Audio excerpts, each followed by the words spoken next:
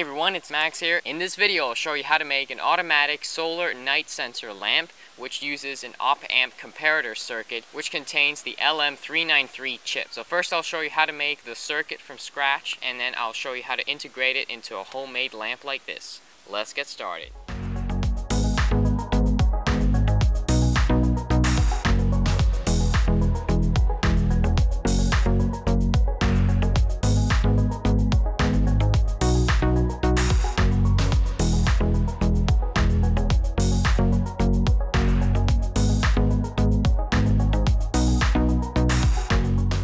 First thing you're going to want to do is take all the components and stick them into the blank PCB like so.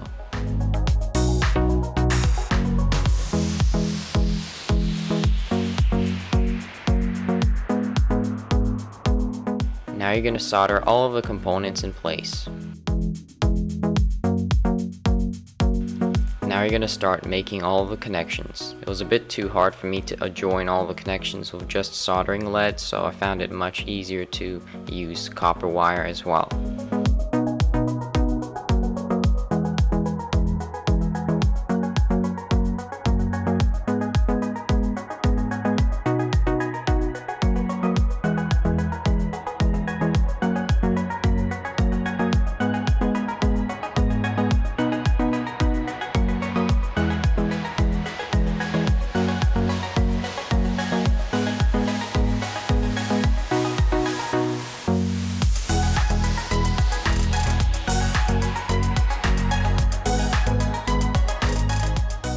We're done connecting up the whole circuit. So let me explain to you guys the connections of this circuit. If we flip it around, at the top we have the battery connector here. So this is the ground rail or negative. It connects to one end of the light dependent resistor and it keeps going. It connects to one end of the potentiometer and pin 4 of the LM393. At the top we have a positive rail which connects to the 220 ohm resistor and 10k resistor then connects to pin 8 of the LM393 and the left side of the potentiometer. And the front pin of the potentiometer goes to pin 3 of the LM393. Pin 2 of the LM393 connects up to the 10k resistor.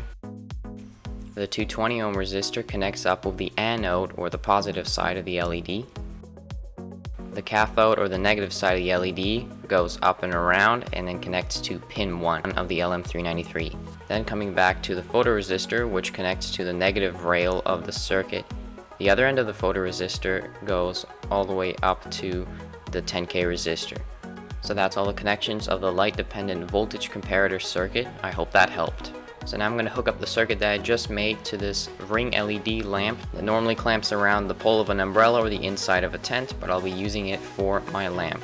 So this is going to be the light that points down and we're going to make another part of the lamp that shines outwards to the side. So what I just did now is replace the LED with a couple of wires hanging out.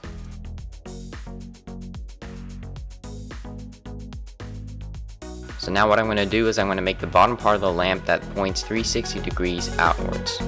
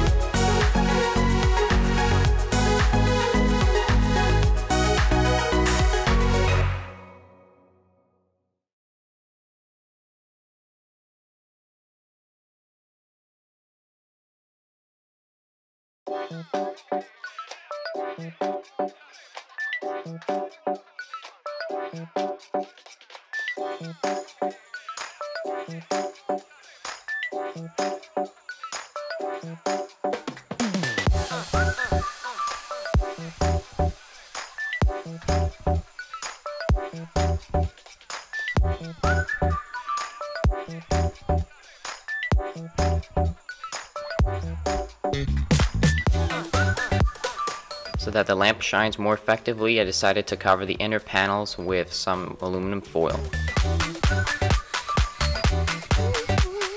At the top you should have four pairs of wires sticking out. Twist the positive wires together and then twist the negative wires together.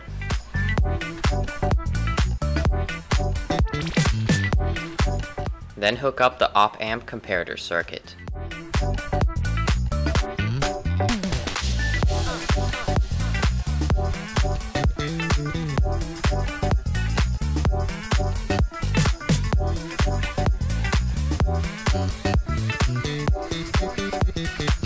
Now I'm also going to hook up this ring LED light to the other lamp that I just made.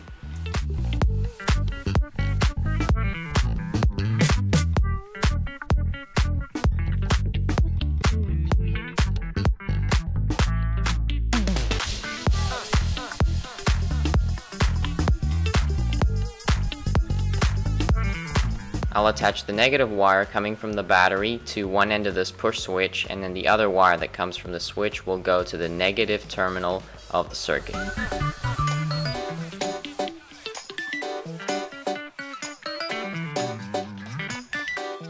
Solder the positive end of the battery to the positive terminal of the circuit.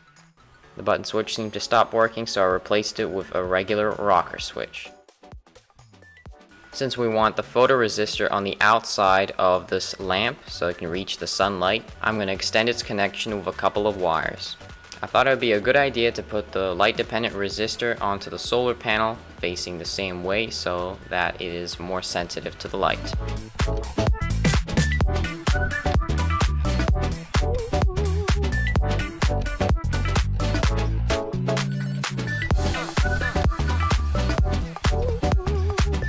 So I'm going to feed through the two photoresistor wires coming from the circuit that I've made to the photoresistor that is glued to the solar panel. Then take a couple of random wires and solder them onto the solar panel terminals.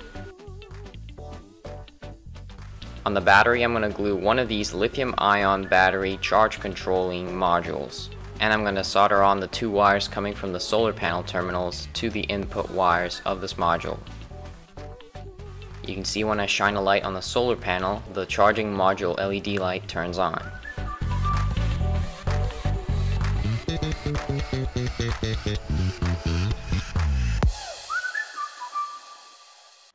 Cut two more short pieces of wire, which attach to the output terminals of the module, and these will be going straight to the battery. Here I'll glue on this custom made splash proof cover from a plastic jar, and I'll glue it over the bottom part of this lamp. And now that I've wired everything up inside this LED ring lamp, I can screw this cover on.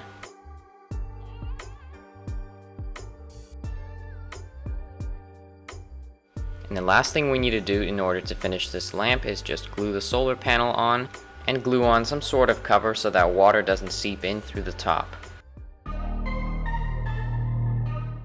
So this is the area where I'm going to set up my lamp. Here I got a 1 inch PVC pipe with a bamboo piece that slides right in has a pretty tight fit. So uh, I'm gonna first bang this in in the area I want it banged in and then I'll slide this on top and then put the lamp on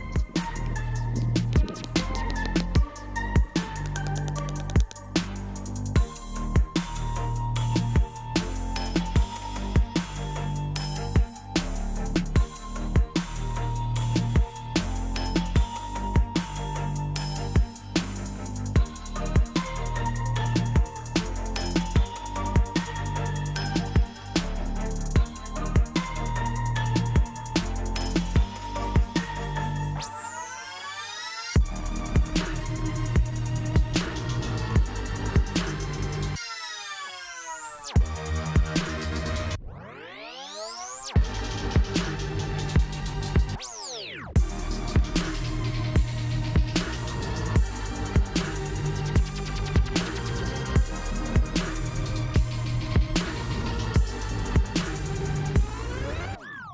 everybody, I hope you enjoyed watching this video how I made a light sensitive op amp comparator circuit using the LM393 chip and how I integrate it into this homemade lamp that I also showed how to make.